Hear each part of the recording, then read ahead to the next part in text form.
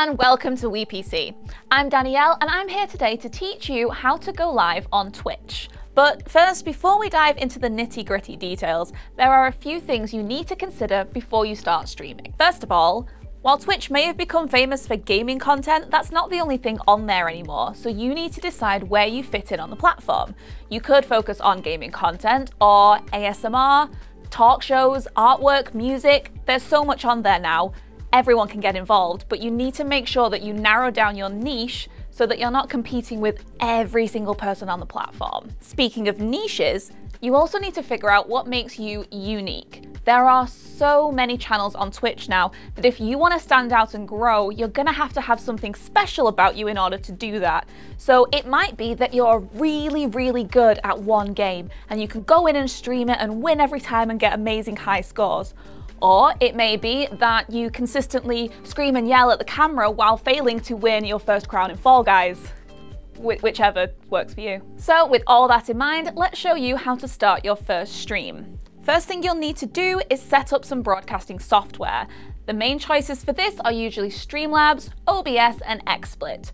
For our Twitch, I choose to use Streamlabs. While this is downloading, the next step is to set up your Twitch stream profile. So let me show you how to do it. Head over to twitch.tv and log in to your account. Click the small logo in the top right corner that looks like a profile picture and select Create a Dashboard. Once in here, head to Stream Manager. Then fill out this info like it's a profile page. Add a title, category and a go live notification. Now we need to configure the streaming software that you've chosen to go with.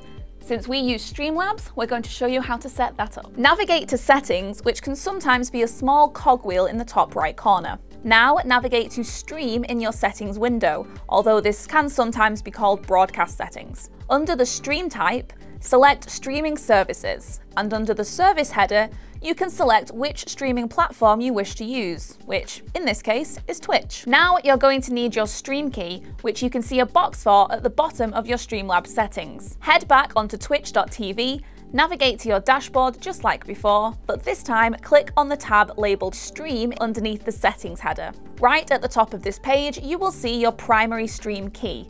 Copy this and head back over to the streamer software. Now back in your streaming software, you want to paste the stream key into the relevant field labelled stream key and select done or OK. And now it's time to go live. All that's left to do is choose your game in Streamlabs and broadcast. So there you have it. Course, this was a very basic guide of how to go live on Twitch. There are many other options that you could consider. For example, you can stream directly from PlayStation and Xbox, but your settings are very limited, so you don't get to customize it as much as you would on PC. But if you want us to show you how to do that, then just let us know and we'd be happy to help. And of course, there's so many other things that you can include in your Twitch streams that we haven't had chance to go over, like custom overlays, custom alerts and when people subscribe or donate money to your stream. So if you want to find out any of these other tips and tricks for streaming on Twitch, make sure to let us know in the comments down below and we'll make a video just for you. And of course, if you enjoyed this video, please give us a thumbs up, click that subscribe button and hit the notification bell so you never miss a video. And as always, I'll see you in the next one.